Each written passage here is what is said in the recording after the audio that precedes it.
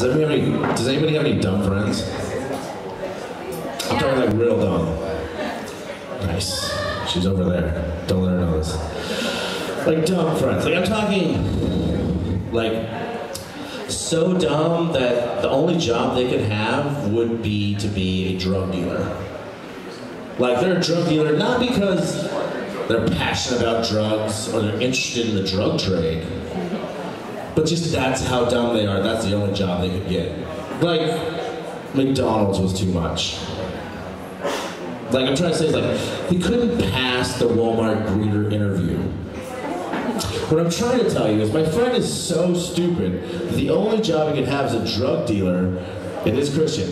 Because the only way that someone could put up with him for a business transaction was if they were physically and mentally addicted to a substance. So the only job they could have would be a drug dealer. Or a Starbucks barista. I can say that. I used to be a Starbucks barista. I also used to be a drug dealer. Uh, but it's true. There's no difference between a crackhead and a middle-aged person trying to get their go juice in the morning. It's ridiculous. I worked at a really, really busy Starbucks. Like, next to the freeway, always busy. And the worst people were the locals, the regulars. They'd walk in the door on a random morning, and you could see, they'd be like, oh, they see the line, like, what the, hold on, Dave. No need for language like that. This is a family establishment. We sell liquid crack. Ah. You see the addiction in their lives? They're waiting in line, there's 20 people deep, and they're just like, look like a crackhead on the street. There's no difference. Then you hear it, and you're just like, come on, man. Let me skip that line. I'll suck your dick. Ew! No, Dave! I wouldn't even do that for Lindsay. And she looks like Gal Gadot. You look like a fucking troll. You look like a 50 year old Robin Williams. You look like a 45 year old Pablo Escobar. Oh, no! Get the fuck out of here.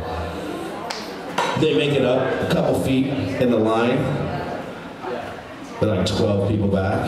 And again, they feel like they have to, they have to let you know, these crazy crackheads. Uh,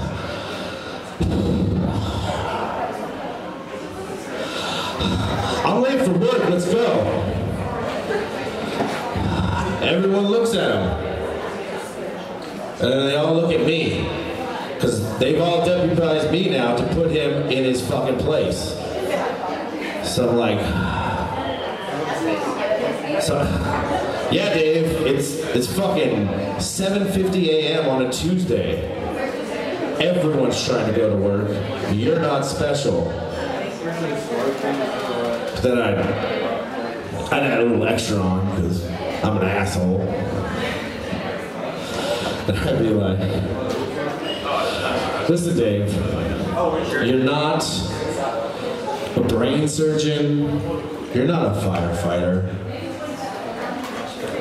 You sell shitty condos with paper thin walls. Your job really doesn't have emergencies. Okay? You need to go in early to clean the jizz off the carpet before your first showing. Not really a priority. Okay, so can you hang back a second? I'm trying to make this lady's mocha frappuccino with extra brownie and seven shots of espresso. Here you go, ma'am. Enjoy shitting yourself on your way to work this morning. Oh, we, we would definitely underserve you at Starbucks. If we thought, if we thought that your order was going to kill you, we didn't give you that order. Because in the drug game, that's called an overdose. And you don't get repeat business from overdoses. So if like you waddled in, or if like you pulled up the drive-through out of breath because you were driving through a drive-through, and you asked for seven extra shots of espresso, maybe we give you two. But the other five, decaf. I'm not, I'm not trying to kill anybody. It'd be cool. It'd be cool if you could do that at a regular bar. Like we have alcohol-free beer, Like, why isn't there alcohol-free, like tequila, rum, whiskey, vodka, gin? Why isn't that a thing? You know, for when that person comes up that you know you're gonna have to refuse to serve them, but they're also the person that you know when you say no, they're gonna burn the place to the fucking ground. And then they ask you, you're like, yeah, sure, no problem. It looks, tastes, smells just like uh, regular alcohol, but like it's just like caffeine and electrolytes. Like you're just helping everybody out at that point. you fuck with your friends, your buddy comes in, and he's like, hey man, I got that uh, first date with a hot girl from the office, Jessica. I need two shots of tequila, take the edge off. Over here. Here you go, man. Even the fake shit.